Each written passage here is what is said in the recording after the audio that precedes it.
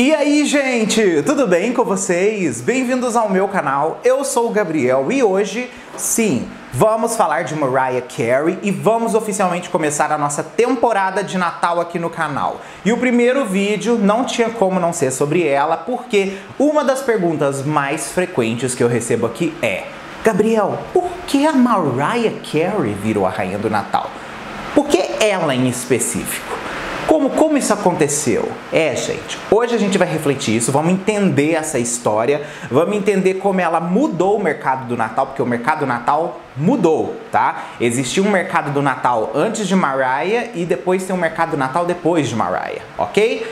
Vamos refletir um pouco disso daí. Fica comigo que vai ser um vídeo muito legal. Mas antes eu já quero aproveitar e convidar você que não é inscrito aqui no canal por favor, se inscreve, vem fazer parte da nossa comunidade. Aqui eu falo de música pop, de outros assuntos relacionados e vai ser incrível ter você aqui com a gente.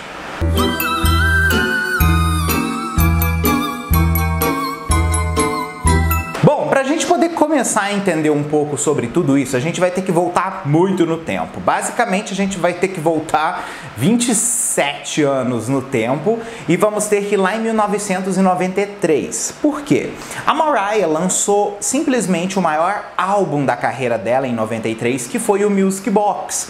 E o que que acontece? Ela tinha tido uma ascensão musical muito boa já no mercado com o primeiro CD, com o segundo CD, que foi o Emotions, mas com o Music Box, gente, foi uma explosão mundial, um fenômeno absurdo. E esse álbum, inclusive, é o mais vendido da carreira dela até hoje. Ele já passou de 30 milhões de cópias vendidas. Então, assim, ele tem um legado muito importante, ele tem músicas muito grandes dentro dele. Então, assim, é um corpo de álbum muito magnífico.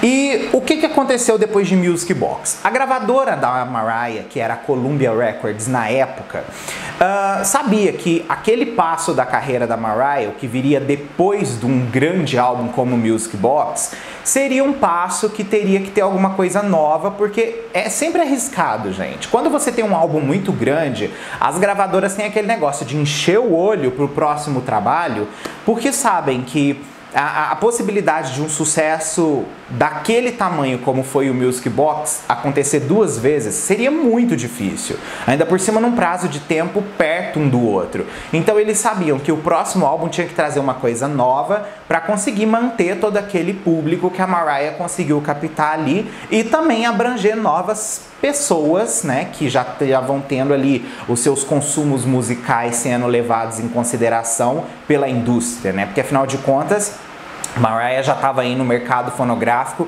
beirando quase cinco anos de carreira, então as coisas dela já estavam começando a mudar e o público já estava querendo novas coisas dela, porque chega um ponto que o artista precisa fazer diferenciais, né?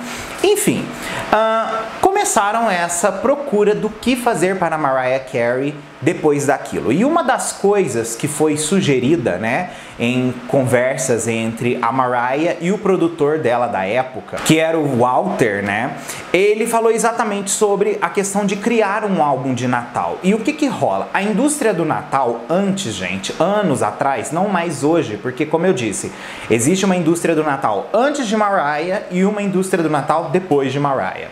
A indústria do Natal antes de Mariah, ela não tinha essa coisa de vender álbuns de grandes artistas, entende? A indústria do Natal, quando se fala em artistas fazendo músicas de Natal, ela era considerada tipo assim, uh, quando o artista tá no limbo, ele lança um álbum de Natal, porque é uma época onde as pessoas meio que vão todas voltar o olho para ele. Então, assim, meio que seria tipo o último suspiro na carreira de alguém. Então, tinha esse preconceito no mercado de pensar em uma artista fazendo um álbum de Natal. E a Mariah, por ela estar tá vivendo o auge da carreira dela, fazer um álbum de Natal era uma estratégia arriscada. Por quê?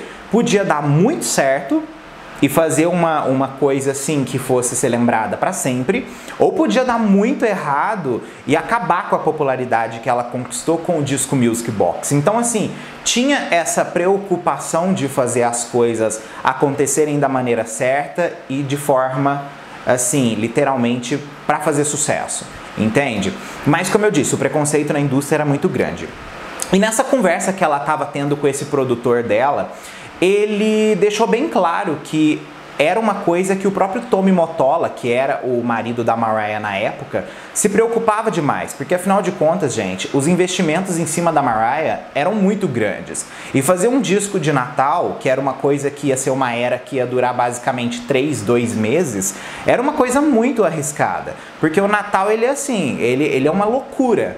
Ele começa no final de novembro, chega em dezembro e depois ninguém fala mais. Então você tem que aproveitar todas as oportunidades que aquelas pequenas semanas até oficialmente a data precisa ser trabalhado. Então o Tommy Motola sabia que o investimento também iria ser muito grande numa coisa que não ia durar tanto tempo. E o Walter tinham essa empatia pelo Natal, porque a Mariah ela sempre foi uma pessoa muito cristã.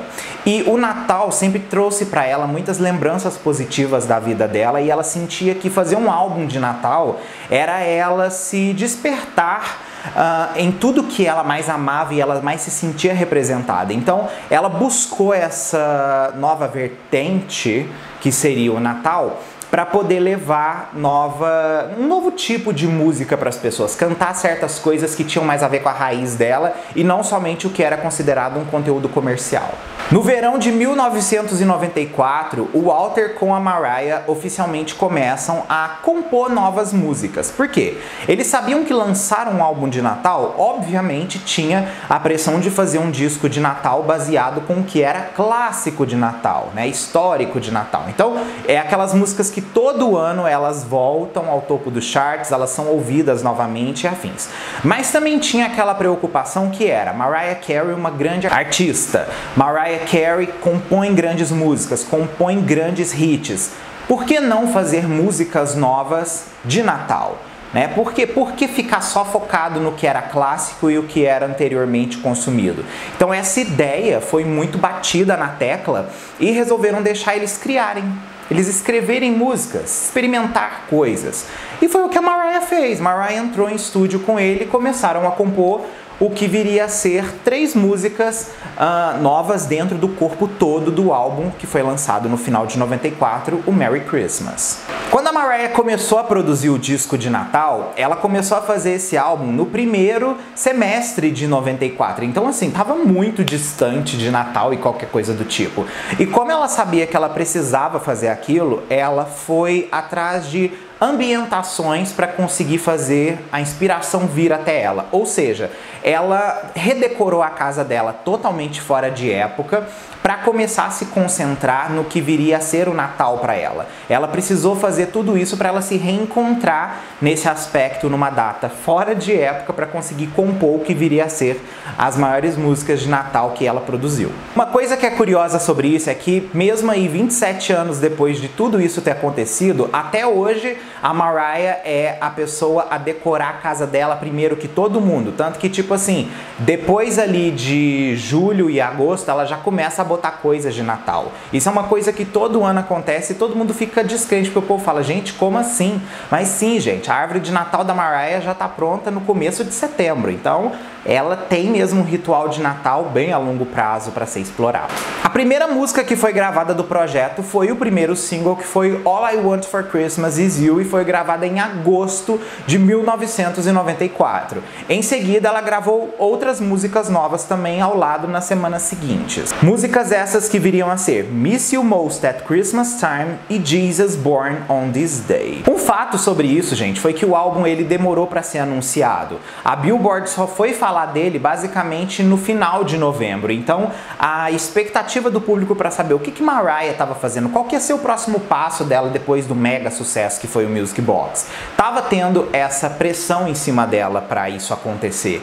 E anunciaram um disco festivo pro Natal e meio tipo, engulam isso, gente. E foi o que aconteceu. Tiveram que engolir aquilo ali, todo mundo ficou meio Mariah lançando um álbum de Natal?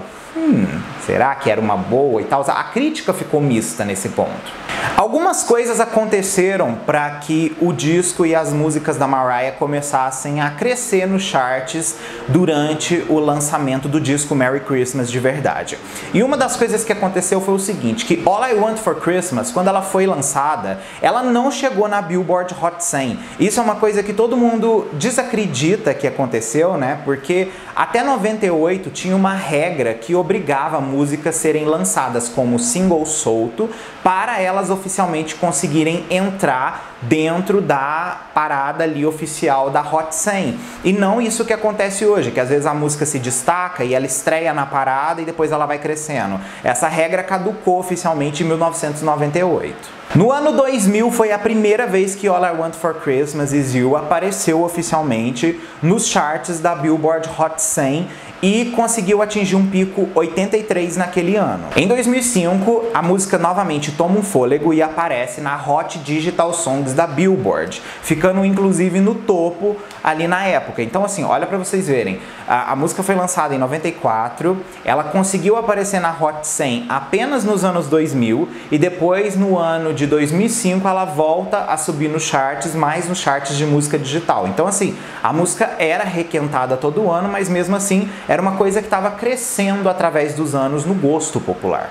E uma curiosidade foi que durante todos os anos seguintes, do ano de 2006 até o ano de 2008, All I Want for Christmas Is You voltava toda vez para os charts, mas nunca era elegível a entrar oficialmente na Hot 100. Ela era sempre dita como música que ah, já foi lançada, então não pode ser considerada. Mais uma regra que acabou também caducando aí, que permitiu tanto que anos depois a música conseguisse atingir o topo. Depois, basicamente, de 26 anos lançada, a música oficialmente consegue chegar no topo da Billboard Hot 100 no ano de 2019, liderando a parada aí no dia 21 de dezembro de 2019, uma semana antes apenas do Natal, por causa que ela teve simplesmente uma chuva de downloads digitais, contabilizou mais de 27 mil downloads, mais de 46 também milhões de streaming da música, o que fez com que a Mariah subisse do dia para noite pro topo do chart, porque a música tava escalando, gente. O que vinha passando as semanas, ela ia escalando e subindo, porque era muito ouvido All I Want for Christmas. Aí quando chegou no topo da parada, só foi acontecer uma semana antes do Natal. E com isso, Mariah consegue o seu 19 single em primeiro lugar. O disco Merry Christmas da Mariah é o álbum de Natal mais vendido de todos os tempos. E nos últimos 20 anos aí, ele conseguiu passar mais de 20 milhões de cópias vendidas mundialmente, tá? É, meu filho, não é para poucos. 20 milhões de cópias com CD de Natal. Essa ida e volta da Mariah nos charts de Natal uh, fizeram com que ela começasse a ganhar muito mais relevância durante essa época do ano. E a marca dela ficou muito registrada por causa da música All I Want for Christmas Is You, basicamente durante os últimos 20 anos. E por causa disso, ela acabou sendo considerada a rainha do Natal. Uh, além disso, os shows de Natal que a Mariah promove todo ano, as tours de Natal, elas são esgotadas de vendas rapidamente porque são shows incríveis, onde ela, além de apresentar os clássicos de Natal, ela também apresenta as músicas inéditas de Natal dela. E ela chegou a lançar um segundo álbum de Natal, não fez tanto sucesso quanto o primeiro, mas seguiu meio que a mesma fórmula, trazendo músicas antigas e também novas músicas natalinas. Curiosamente, no ano de 2020 agora, a gente vai ter uma nova experimentação, vamos dizer assim, da Mariah com uma das músicas mais incríveis de Natal que ela fez, basicamente há 10 anos atrás, que foi a música Ó Senta, em que ela vai apresentar nesse novo especial que ela tá fazendo para Apple TV, uh, ao lado da Jennifer Hudson e da Ariana Grande. Então, Acredita-se que a nova versão da música vai ser lançada como single na próxima semana, né, no, na primeira semana de dezembro. E que essa música, com o lançamento do vídeo e toda a apresentação da Apple TV, essa música consiga se tornar o vigésimo number one da Mariah e não somente isso, se tornar o segundo hit de Natal da carreira dela. Mais que merecido porque a música é simplesmente sensacional. Agora eu vou perguntar para vocês, quais as expectativas de vocês para o Natal desse ano e para esses próximos lançamentos da Mariah? Vocês acreditam que a música com a Ariana e com a Jennifer Hudson vai bater o topo da Billboard? Comenta aqui que eu quero saber. E comenta aí também o que, que vocês esperam do Natal esse ano. Tem artistas lançando álbuns de Natal legais que eu devia escutar? Enfim, manda aí o seu comentário que eu quero saber o que você acha, tá bom? Ó, um grande beijo e até o próximo vídeo nosso. Aí.